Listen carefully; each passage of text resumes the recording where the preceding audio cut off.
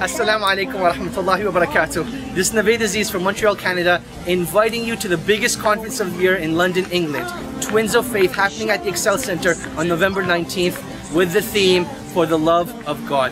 Now when you think about For the Love of God, what comes to mind?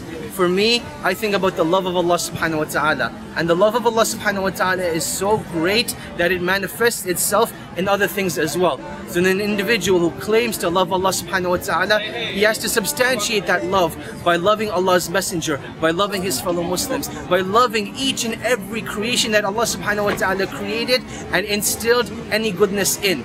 This is what our love of Allah subhanahu wa ta'ala truly represents. So now, here we have November 19th at the Excel Center, not only a conference, but it is actually a one-day event featuring workshops, featuring lectures, featuring side sessions that are going to be comedy filled. Don't worry, I won't be telling the jokes inshallah, so you'll actually enjoy it. And there's going to be many other things going on as well. So bring your family, bring your friends, bring your neighbors, bring whoever you can bidnillahi ta'ala, because it is going to be a fun-filled event bidnillahi ta'ala. So now, before I conclude, I want to ask you a question, and that is, what does for the love of God truly mean to you?